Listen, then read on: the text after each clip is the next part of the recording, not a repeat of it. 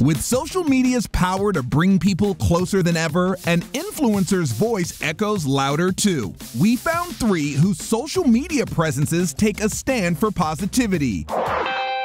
First, Aimee Song, fashion blogger, author, and designer who raises mental health awareness. I realize self love is very important, and voila, I'm wearing my self love t shirt. With over 5 million Instagram followers and almost 25 million views on YouTube, fans get an honest look at her life, good and bad. The hardest thing about being a blogger or having my life out there is to always pretend like I'm happy. Sharing her own experience sets the stage for positive dialogue about mental health. So I just started doing therapy for the first time, you guys.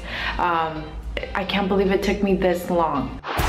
Our next influencer empowers diversity through high-end headscarves called hijabs, Melanie Elturk. What are we doing to make this society a better place? She's the founder and CEO of Haute Hijab, an online store specializing in high-quality hijabs. Melanie wanted a functional and elegant hijab that could be worn with confidence. We wear our hijab in order to be recognized as women of faith. With two and a half million views on YouTube and nearly 300,000 Instagram followers, she advocates for acceptance through tutorials, travel vlogs, and lifestyle videos. Know and understand why you wear the hijab to begin with.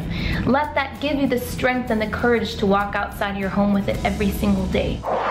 Our final influencer is Brittany Vest, a wellness blogger who encourages body positivity. I'm feeling more confident. After struggling with her weight for most of her life, she began documenting her weight loss journey in 2014 and has lost 85 pounds. You can even bring your knee up as you come up if you have want that extra balance challenge. With a following of nearly 250,000 on Instagram, she promotes a positive body image by living it herself through blog posts and YouTube videos. And that's influencing hashtag positivity on social media.